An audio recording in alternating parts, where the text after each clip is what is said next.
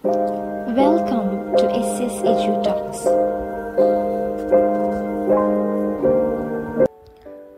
ചീറിപ്പായുന്ന യുദ്ധവിമാനങ്ങൾ ഭീമാകാരമായ ശബ്ദത്തോടെ ബോംബ് വർഷിക്കുന്നു തീപ്പുകകൾ പൊടിപടലങ്ങൾ രക്തത്തിൽ കുളിച്ചു കിടക്കുന്ന ഒരായിരം ജന്മങ്ങൾ പിറ പിഞ്ചു കുഞ്ഞുങ്ങൾ ഉൾപ്പെടെ കരച്ചിലിന്റെ അലമുറകൾ എന്റെ അമ്മയാണോ അച്ഛനാണോ മകളാണോ മരിച്ചു കിടക്കുന്നത് എന്നാകുലപ്പെട്ട് ഓരോ മൃതശരീരത്തിനിടയിലൂടെ ഓടി നടക്കുന്ന ആളുകൾ.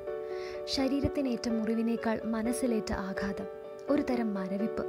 അടുത്ത നിമിഷം എന്ത് സംഭവിക്കുമെന്ന് അറിയാത്ത ഒരവസ്ഥ. ഇതൊന്നും ചിലപ്പോൾ നമുക്ക് പരിചയമുണ്ടാവില്ല. എന്നാൽ ലോകത്തിന്റെ പല ഭാഗങ്ങളിലും നടക്കുന്നത് ഇതാണ്. എന്തിനാണ് ഈ അനാവശ്യ യുദ്ധങ്ങൾ? എന്ത് അനാവശ്യമല്ലേ? ഒരുത്തന്റെ ആവശ്യം മറ്റുള്ളവന്റെ അനാവശ്യമാവുന്നത് എങ്ങനെ? രണ്ട് കൂട്ടർ തമ്മിൽ തല്ലുമ്പോൾ ഇല്ലാതെയാകുന്നത് ഒന്നിനും ഇടപെടാത്ത പാവം ജനത. ഈ ജനതയോട് എന്തിന് ഈ ക്രൂരത? രാജ്യങ്ങൾ തമ്മിൽ യുദ്ധകാഹളങ്ങൾ മുഴക്കുമ്പോൾ സ്ഥിരം കേൾക്കുന്ന ഒന്നാണ് യു എൻ അഥവാ ഐക്യരാഷ്ട്രസഭയുടെ ഇടപെടൽ. ഐക്യരാഷ്ട്രസഭയുടെ സമാധാന സേവാംഗങ്ങളെക്കുറിച്ച് നമുക്ക് എന്ത് ചെയ്യാം? ലോക സമാധാനം ലക്ഷ്യമിട്ട് സമാധാന സംരക്ഷണത്തിനും പുനഃസ്ഥാപനത്തിനും രൂപീകരിച്ച സേനയാണ് ഐക്യരാഷ്ട്രസഭയുടെ സമാധാന സേന. കലഹം രൂക്ഷമായ രാജ്യങ്ങളിലെ പ്രശ്നങ്ങൾക്ക് പരിഹാരം കണ്ടെത്തി സമാധാനം നിലയുറപ്പിക്കുകയാണ് ഇതിന്റെ ലക്ഷ്യം. അദ്ദേഹത്തെ സമാധാന പ്രവർത്തനങ്ങൾ വിശകലനം ചെയ്യുക യുദ്ധാനന്തര കരാറിന്റെ നടത്തിപ്പിന് രാജ്യങ്ങളെ സഹായിക്കുക സമാധാന ശ്രമങ്ങളിൽ ഇരു കൂട്ടർക്കും വിശ്വാസം ഉണ്ടാക്കുക അധികാര കൈമാറ്റത്തിനുള്ള വേദി ഒരുക്കുക തിരഞ്ഞെടുപ്പുകൾക്ക് സഹായിക്കുക ക്രമസമാധാനം സാമൂഹിക സാമ്പത്തിക വികസനം തുടങ്ങിയ കാര്യങ്ങളാണ് സമാധാന സേന ശ്രദ്ധിക്കുന്നത്. സൈനികരും പോലീസും കൂടാതെ സാധാരണക്കാരും സമാധാന സേനയിലെ അംഗങ്ങളാണ്.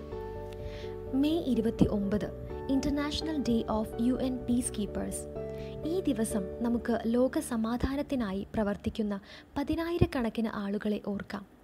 അവർ ചെയ്തുകൊണ്ടിരിക്കുന്ന പ്രവൃത്തികൾ ഓർക്കാം.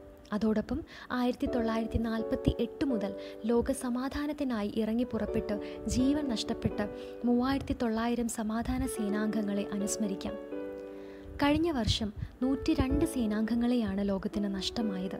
ഈ കൊല്ലം നമ്മുടെ യു എൻ സമാധാന സേനാംഗങ്ങൾക്ക് നേരിടേണ്ടി വന്ന വെല്ലുവിളികളും ഭീഷണികളും എക്കാലത്തേക്കാളും വലുതാണ്. ലോകത്തിലെ മുഴുവൻ ജനതയും കോവിഡ് പത്തൊമ്പതിനെ നേരിട്ടുകൊണ്ടിരിക്കുമ്പോൾ അവർക്ക് മുന്നിൽ കോവിഡിനെ നേരിടുന്നതോടൊപ്പം അവരുടെ കൈകളിൽ ഏൽപ്പിച്ചിരിക്കുന്ന ഒരു കൂട്ടം ജനതയെ പിന്തുണയ്ക്കുകയും സംരക്ഷിക്കുകയും കൂടെ ചെയ്യണം.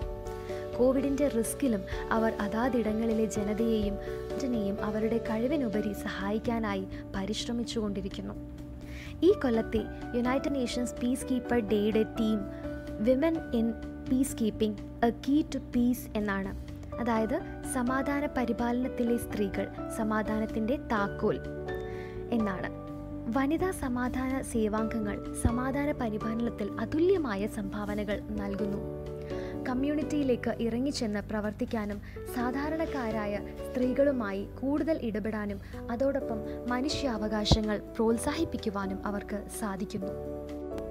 വനിതേനാംഗങ്ങൾ അവരുടെ കഴിവുകൾ തെളിയിച്ചിരിക്കുന്നു. ആയിരത്തി തൊള്ളായിരത്തി തൊണ്ണൂറ്റി മൂന്നിൽ ഒരു ശതമാനം എന്നത് രണ്ടായിരത്തി പത്തൊമ്പതിൽ മൊത്തം തൊണ്ണൂറ്റി അയ്യായിരം അംഗങ്ങളിൽ പതിനഞ്ച് പോയിന്റ് അഞ്ച് ശതമാനം സ്ത്രീകളുണ്ട്. ലോകത്തിന്റെ പലയിടങ്ങളിലും കോവിഡ് നയന്റീൻ റെസ്പോൺസ് ടീമുകളിൽ അവർ ഒരു അവിഭാജ്യ ഘടകമായിരിക്കുന്നു. ഈ കൊല്ലം നമ്മൾ ഇന്ത്യക്കാർക്ക് ഒരു പ്രത്യേകതയുണ്ട്. വനിതാ സമാധാന സേനാംഗവും ഇന്ത്യൻ ആർമി ഓഫീസറുമായ മേജർ സുമൻ ഖവാനി ഐക്യരാഷ്ട്രസഭയുടെ military gender advocate of the year അവാർഡിന് തിരഞ്ഞെടുത്തു. ശക്തമായ റോൾ മോഡൽ എന്നാണ് U N chief Antonio Guterres ഇവരെ വിശേഷിപ്പിച്ചത്. ഈ അവാർഡ് ലഭിക്കുന്ന ആദ്യ ഇന്ത്യൻ സേനാംഗമാണ് മേജർ സുമൻ ഗവാനി കഴിഞ്ഞ എഴുപത് കൊല്ലമായി ഏകദേശം രണ്ട് ലക്ഷം അംഗങ്ങളെ ഇന്ത്യ നൽകിയിരുന്നു. യു എന്നിന്റെ എഴുപത്തിയൊന്ന് മിഷനുകളിൽ നാൽപ്പത്തി ഒമ്പതെണ്ണത്തിലും ഇന്ത്യ പങ്കെടുത്തു. A big salute to all the piece keepers ഈ വീഡിയോ ഇഷ്ടമായെന്ന് വിചാരിക്കുന്നു.